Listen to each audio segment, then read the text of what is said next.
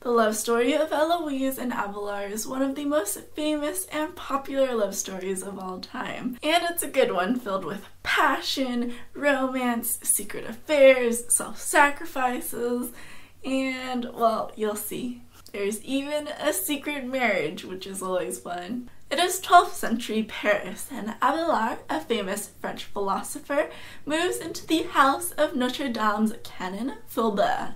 Eloise, Fulbert's niece, is also living in this house with her uncle. And of course, she is a young, beautiful maiden who's also one of the most educated women of her time. Abelard, taken with her beauty and intelligence, convinces Fulbert to allow him to become Eloise's tutor. Now you can already see where this is going. The two fall in love and have a passionate secret affair. They made love in the kitchen of the convent, in the boudoir of the girl's uncle. They were really just passionately in in love physically everywhere. They wrote hundreds of love letters, and not before long, Eloise was pregnant of course. Now there's a couple of things impeding this couple's happily ever after.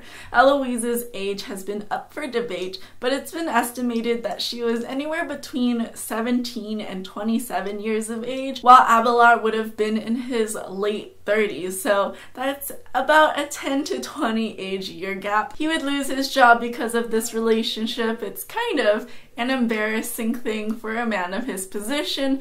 Plus, her uncle, her uncle would not be happy. Seeing as it's pretty difficult to hide a baby bump, Eloise flees to Brittany, Abelard's place of birth, and she stayed with his sister until she gave birth to their baby boy, Astrolabe.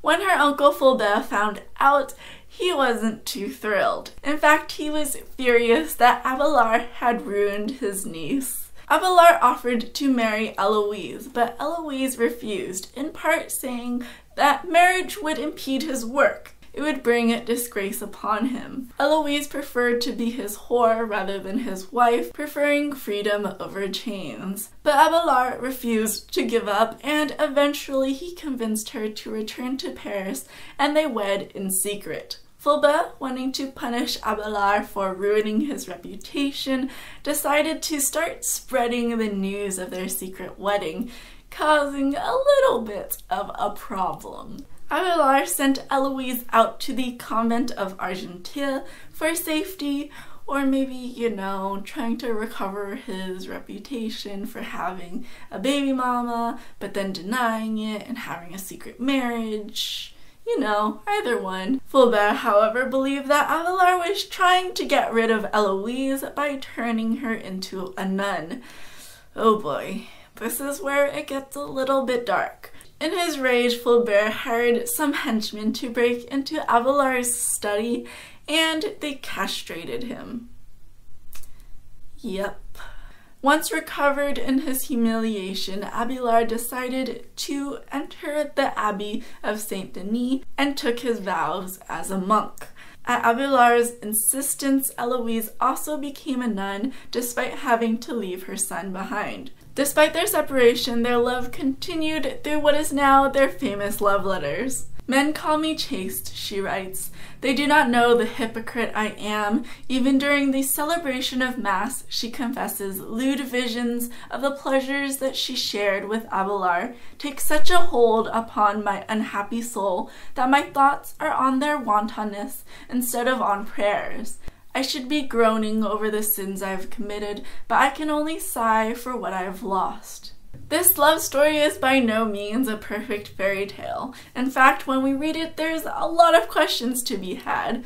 Today, you think about a teacher-student relationship, kind of gross and irresponsible. Eloise, despite being well educated, wasn't a feminist heroine either. She gets married even though she doesn't really want to. She becomes a nun just because he told her to. There's so much intensity and sacrifice in their relationship that it all seems kind of foreign. But the tragedy of their relationship has a kind of grandeur to it that has captured the imagination and attention of everyone around the world. 600 years later, Josephine Bonaparte, the first wife of Napoleon I, was so moved by their story that she ordered the remains of Abelard and Eloise to be entombed together.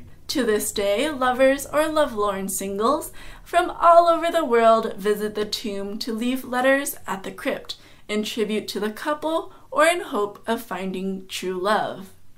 I hope you guys enjoyed this video and in celebration of Valentine's Day this February, I'm going to be releasing a couple more videos similar to this one of some famous love stories.